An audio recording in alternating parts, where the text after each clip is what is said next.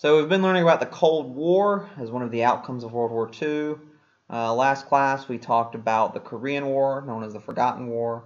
The next major event in the Cold War between the superpowers, the United States and the Soviet Union, is the Cuban Missile Crisis. So that is what we're going to learn about today.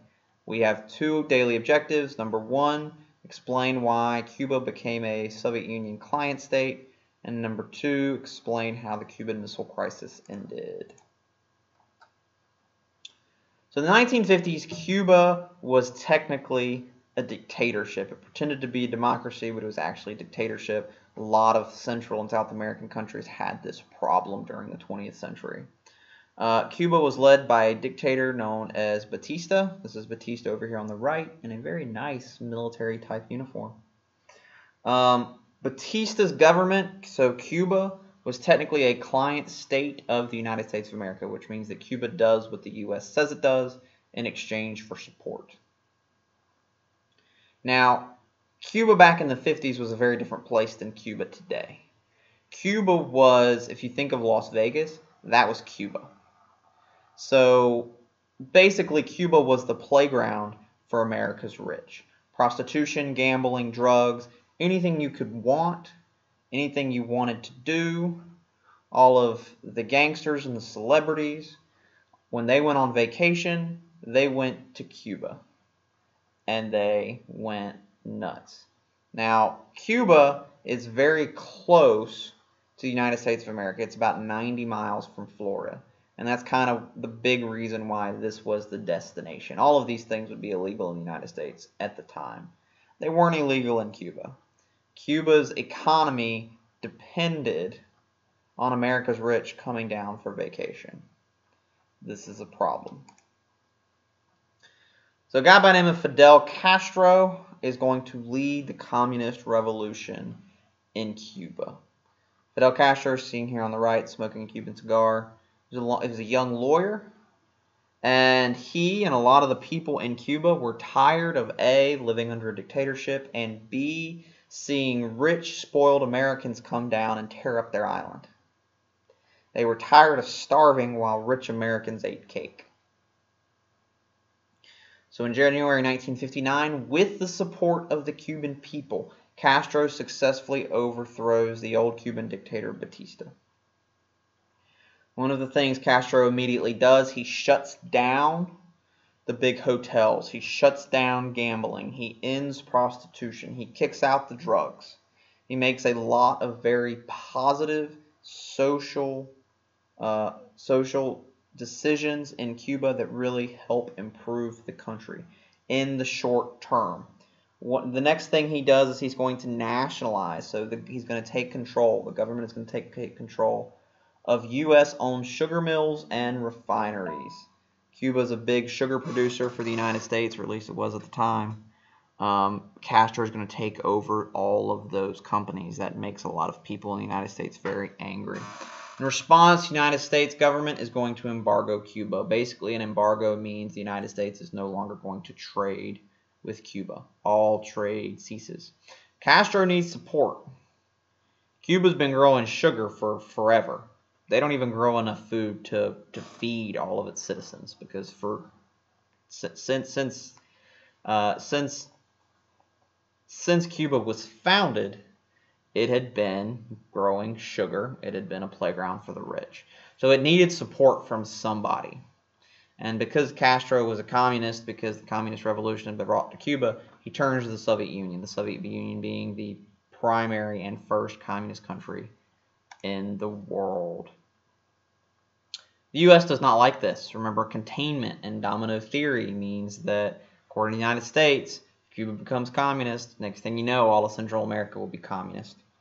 So the United States, uh, under the uh, with, with the help of the CIA, the Central Intelligence Agency, begins to train anti-Castro Cuban exiles. A lot of people got kicked out of Cuba once Fidel Castro took power.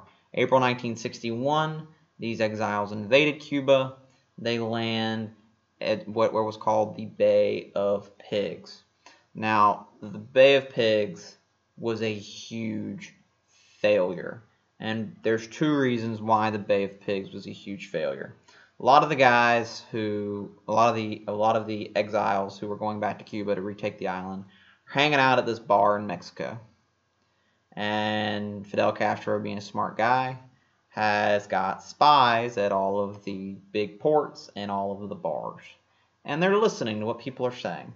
And all of these exiles are hanging around the bar, getting ready to prepare, preparing for the invasion the next day, and they're drinking. They're afraid they may die the next day, so they want to have a little fun the night before their possible death. So they're drinking.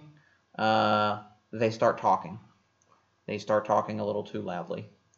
Castro's spy, who was in the bar, goes over, starts buying him drinks, starts asking him questions.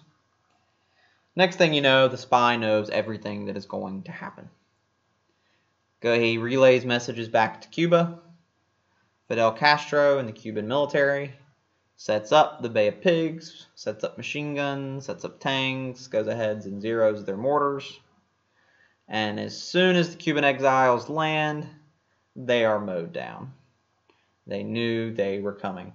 Second big problem for the Cuban exiles is that the United States Central Intelligence Agency had promised to provide air support, bombers, uh, strafing runs, that kind of thing. At the end of the day, they don't do that. So the exiles are mowed down as they're landing on the beach. The rest are captured by the Cuban military the exiles are going to be killed via firing squad fairly fairly soon after taking some very uh, humiliating pictures. This makes the United States look bad. Everybody knows the United States was trying to get Cuba to go back democratic or at least dictatorship, at least not communist. So it makes the United States look bad and it pushes Cuba even closer to the Soviet Union. Cuba felt like if it did not have the support and the backing and the protection of the Soviet Union, the United States would again and again and again try and take it over. This was not cool to Fidel Castro. So after the Bay of Pigs, the Soviet Union thought the United States would allow communist expansion into Latin America. Remember, the U.S. failed to provide the air support. The Soviet Union believes, hey, if we can get away with it in Cuba, we can get away with it everywhere. So they start going to other Central and South American countries and trying to get communist revolutions in those places. The other thing they do in July 1962 is the Soviet Union begins building secret nuclear missile silos in Cuba. Now, why did the Soviet Union want to build nuclear missile silos in Cuba? Because remember, Cuba is very, very close to the United States of America. If they can put nuclear missile silos in Cuba, then the missiles in Cuba can hit almost the entire United States of America. This is terrifying for people in the United States. These nuclear weapon sites are discovered by a U.S. spy plane that flies over the island. Over here on the right, this picture is actually one of the pictures taken by the spy plane.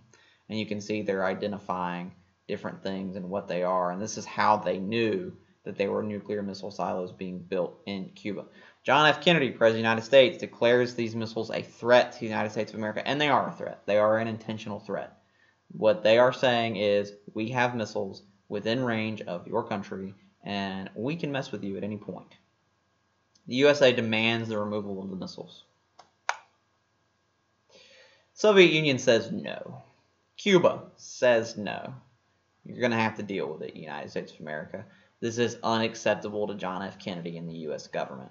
The U.S. government declares a naval blockade of Cuba. They take ships and they see Soviet ships coming and whenever a Soviet ship comes, get start getting close to Cuba, the U.S. ship gets gets in front of it and blocks it from moving forward. This is technically illegal uh, according to the United Nations, but the U.S. does it anyway. And the reason they do it is to prevent the Soviet Union from bringing more missiles and materials to Cuba to finish construction of the missile sites. Now, this blockade angers the Soviet Union and Cuba very, very, very much, clearly. The world is on the brink of nuclear war. This is the closest we ever got as a country. People were freaking out because people knew what was going on. They were freaking out. They were running out. They were preparing their bomb shelters. They were preparing their basements. They were buying canned food. It was absolutely terrifying to citizens of the United States of America. In a last-ditch effort, the United, the Soviet Union, United States of America negotiate. What ends up happening is the United States of America agrees to remove nuclear missiles from Turkey. Uh, Turkey is the country where the Ottoman Empire used to be in charge during World War One. Uh, Turkey is very close to the Soviet Union at this point. So the USA agrees to remove nuclear missiles from Turkey. In exchange, the Soviet Union agrees to remove the missiles from Cuba.